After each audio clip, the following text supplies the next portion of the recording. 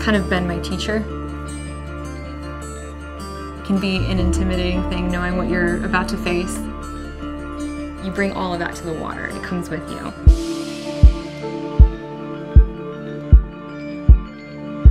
It's like you're diving into the universe.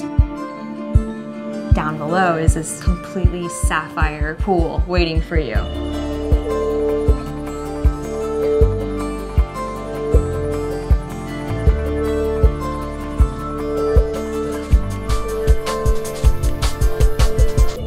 When I was younger, I was diagnosed with an autoimmune disorder. It changed my life completely.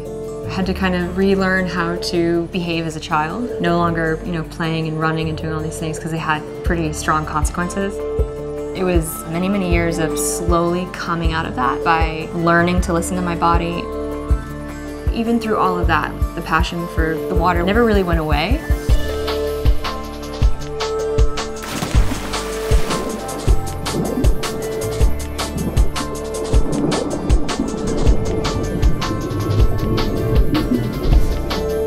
It's really exciting to, to share it with people because over the years I've heard that from so many people. What would it be like to dive with you? And now I can give that to them.